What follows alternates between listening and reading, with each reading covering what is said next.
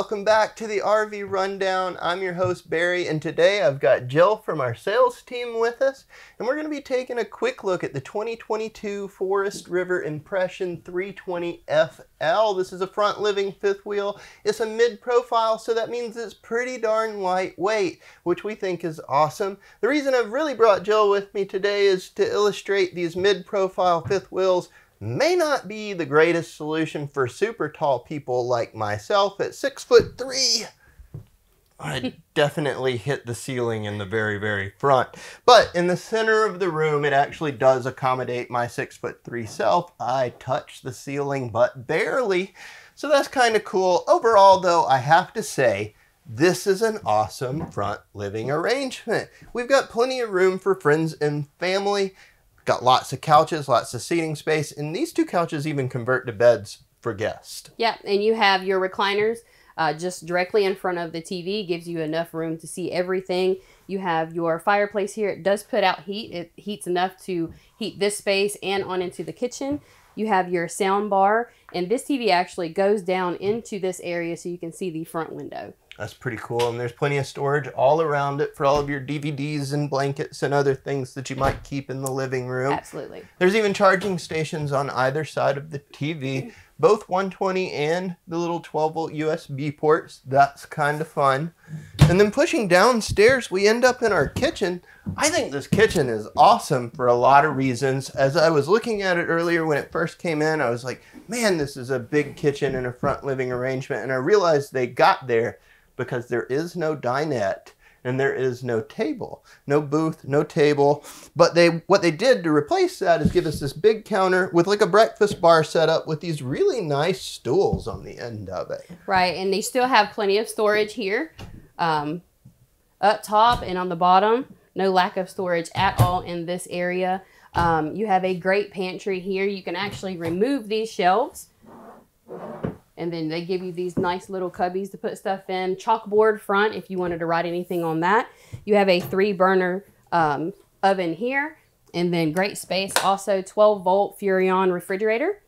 Very cool. I've noticed that they've dedicated space here on the countertop. That could either be a wet bar. You could use it because they put a plug there as your coffee station or for your toaster. There's loads of counter space over here for prepping a meal. I think that's kind of awesome. We've even got cabinetry up above just for extra storage. If it wasn't such a bright day, we'd have this window open because that looks right out onto your patio. You can see the kids out there playing. That's kind of a neat feature. They even put a skylight in here, which really accentuates all of the light color tones in here and really makes it feel kind of open. Another thing that I think is neat that they've done is putting our main control panel right here by the door as you come in. I think that's a slick feature. There's even a touchscreen panel from LCI up top that'll run all of our systems as well as leveling. It even has Bluetooth capabilities, so that's kind of a neat feature as well. Pushing on back, we have our bathroom. It's right here accessible from the hallway.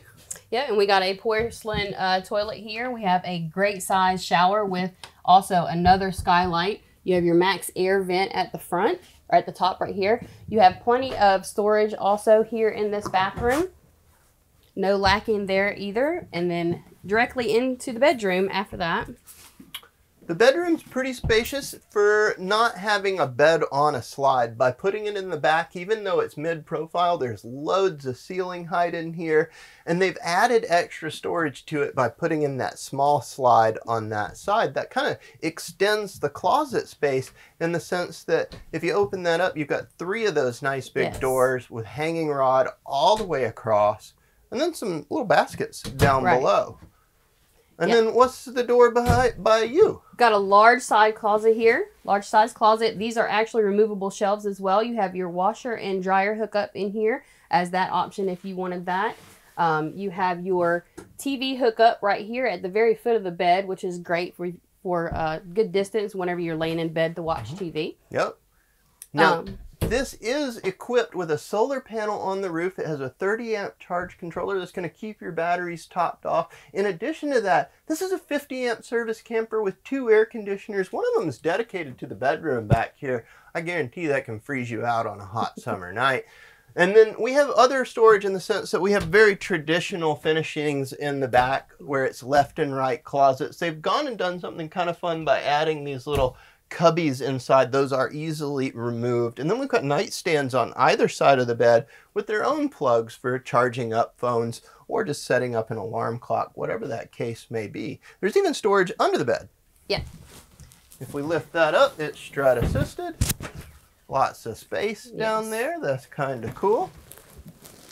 And overall, I'm feeling like this is a pretty fantastic front living floor plan. It's lightweight, it's relatively short given the entirety of it. The layout is nice and open. This kitchen and living room really flow well together. I think it's pretty cool.